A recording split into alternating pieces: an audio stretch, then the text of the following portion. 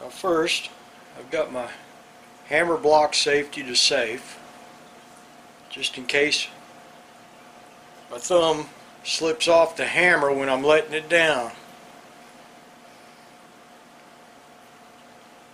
First thing you want to do is pull the hammer fully to the rear. That eases the hammer off the trigger sear. Now pull the trigger, let the hammer ride a hair forward, then let go of the trigger. Then ride that hammer all the way forward. Always maintain control of that hammer. Never let that hammer slip. There's some lever guns that don't have that hammer block safety. And even though this one does, I still don't let that hammer slip forward. It's a bad habit to get into. Let's try it again. I'm going to cock the hammer.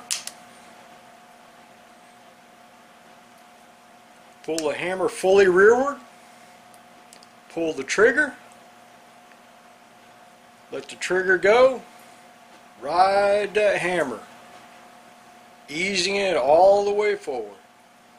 First, pull the hammer rearward as far as it'll go. Pull the trigger, ease the hammer forward, let go of the trigger, and ride that hammer with your thumb all the way to the half cock sear.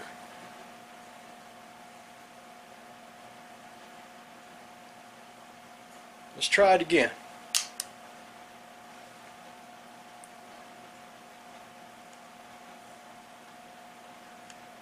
Pull the hammer rearward, pull the trigger, ease the hammer forward, let go of the trigger, and ride that hammer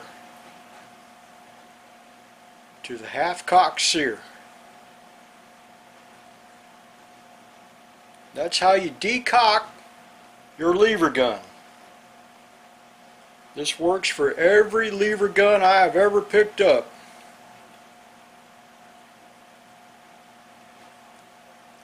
Just make sure that you ease that hammer forward. Don't let it fall out from underneath your thumb. There you go.